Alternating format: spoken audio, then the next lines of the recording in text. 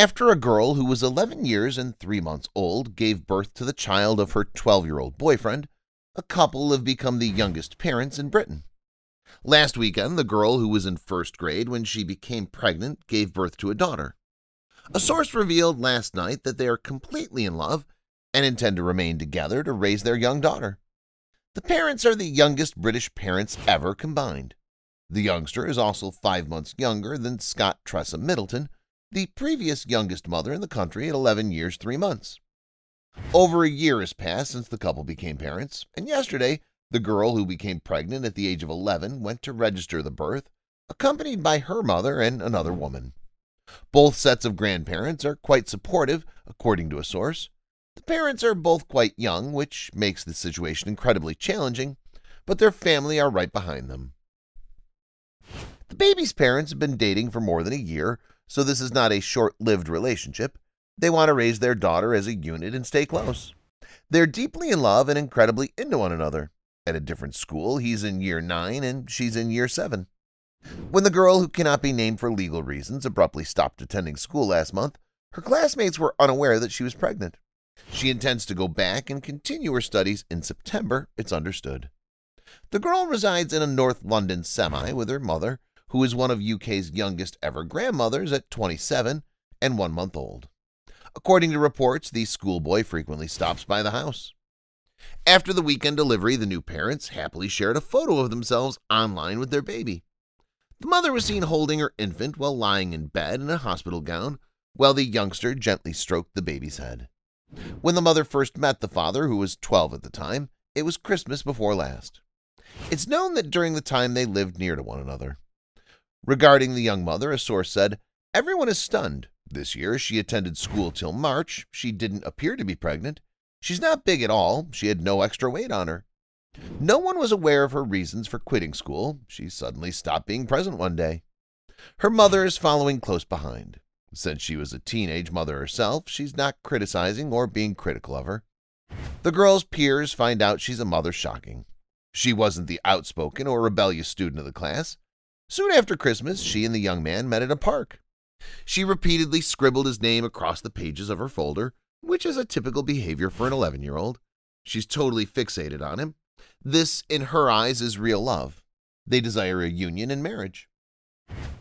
The baby of the schoolgirl weighed 7 pounds 4 ounces, which is about normal for a girl in the UK.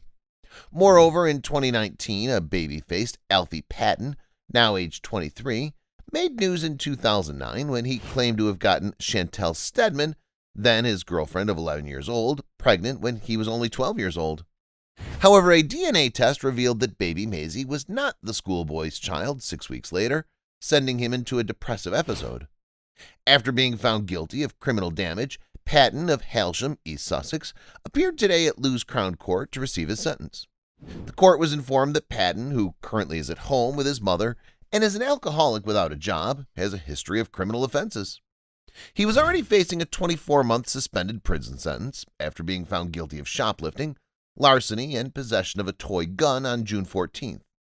But on July 11th, he became inebriated and started cursing and yelling at an elderly resident before wrecking cars in the road close to his Hailsham house. The prosecutor, Hannah Hurley, alleged that Patton assaulted an elderly neighbor while cursing and breaking a fence, damaging a Skoda, and damaging a van. He was belligerent, abusive, and intoxicated, she claimed. He was moving quickly up and down the street. He was observed shouting and fighting with moving objects. Defense attorney Nutan Fatanya claimed that Patton was attempting to deal with his severe alcoholism and that his GP was looking for medical and psychological assistance so that he could cut back on drinking. This young man is aware of the issues that are at stakes here, she remarked. Instead of continuing the destructive, chaotic behavior that's seriously harmful to his health, he wants to improve to become normal and seek serenity. Patton should have received an automatic jail sentence for violating the earlier suspended sentence, Judge Janet Waddicor cautioned, but insisted that prison would not benefit him.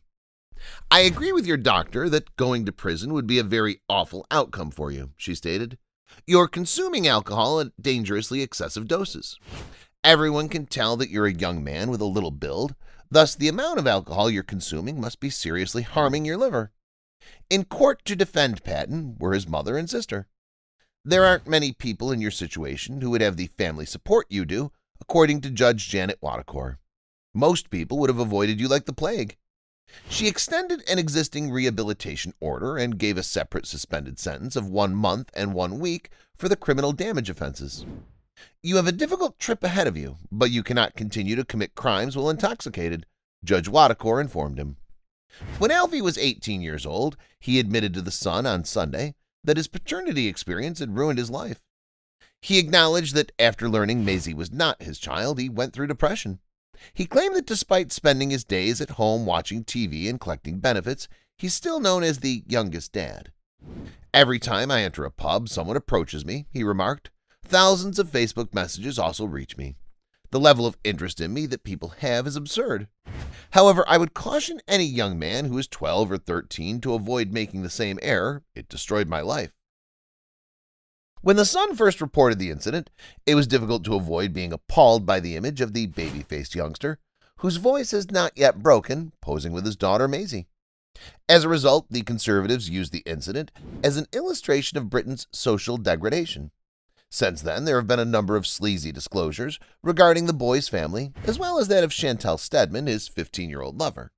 Some include Dennis Patton, a serial love cheat who's fathered either seven or nine children with various women, depending on whose newspaper you believe, as Alfie's absentee father.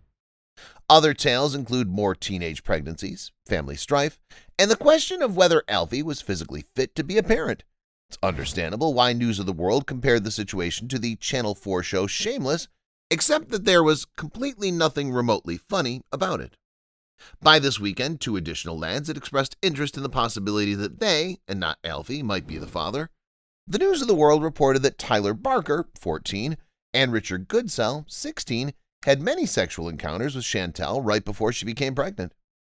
Now that DNA tests are being requested by the families of all implicated lads, Alfie's mother, Nicola Hill, told the Sunday Mirror, I don't believe it's his baby. One commenter on the News of the World website made the following playful suggestion in response to the paternity dispute. Anyone else think this might end up being similar to the Spartacus moment, where they all pretend to be him?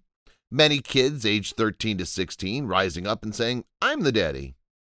You might be curious as to why these other lads are now so eager to take care of a newborn, However, if today's Independent on Sunday is accurate, there's money to be gained from the story, with at least 15 television firms embroiled in a furious fight to film a documentary about it, and media analysts predicting Alfie may earn up to half a million pounds. Let's only hope that this doesn't lead to a surge of imitative pregnancies as 11 and 12 year olds attempt to profit across the nation. Back in 1998, before the Alfie Davis case, Sean Stewart held the title of being the youngest father in Britain. When he impregnated his neighbor, Emma Webster, who was 15 at the time, he was only 11 years old. Following the news that 13-year-old Alfie Patton had become a parent, one guy experienced a startling sense of deja vu.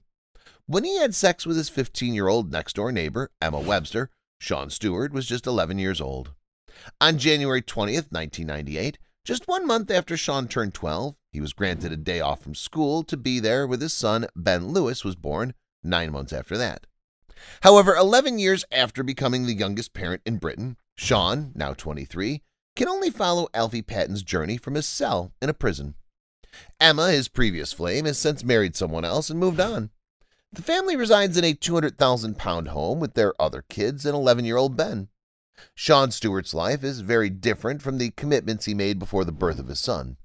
He was living in Bedford at the time with his 38-year-old single mother, Teresa, who had seven children from three different men. Emma was residing next door to her mother, Shirley, who was 46 at the time, and her father, Ray, who was 49 and a forklift driver without a job. The tale of how Sean would scale a roof to rendezvous with Emma made international headlines. Sean said to the Daily Mail when Emma was born, I hope to stay good friends with Emma for as long as possible. She meets me at the bus stop every afternoon and comes over to my house every morning before school.